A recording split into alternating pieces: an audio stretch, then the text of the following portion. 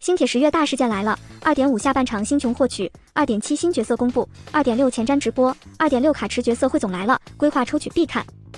十月一日商店刷新，可兑换五张专票和五张通票。十月二日，二点五下半开启，卡池角色零杀托帕，持续到十月二十二日。十月八日，二点七新角色开始公布，有几个就公布几天。根据目前已知剧情的分析，新角色估计是星期日和复活后的停云，大家打算抽吗？十月十一日，二点六前瞻直播，届时会发放三百星穹兑换码，有效期只有十几个小时。关注我的老粉都知道，我每次都会第一时间把兑换码和前瞻内容发给关注我的朋友，还有每版本全网一千兑换码福利，没关注的朋友点个关注就不会错过了，还请点赞投币三连支持一下，祝您十连出好几个金。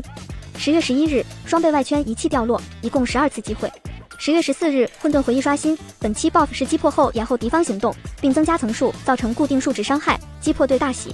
十月二十三日，二点六版本上线，五星虚数智识角色乱破登场，二点六复刻角色大概率是在这八位中选取，大家可以把自己想要的角色打出来，也许就复刻了。二点六当天还会上线签到七天送十抽活动。十月二十八日，末日幻影刷新，最高可获得八百星穹。二点五下半月卡玩家可获得六千星穹三十六抽，零氪玩家可获得四千星穹二十四抽，大家一定要规划好抽取哦。花猪每天会分享最新的兑换码和各种资讯攻略福利，点个关注方便查看哦。最后还请您点赞投币支持一下花猪，万分感谢了。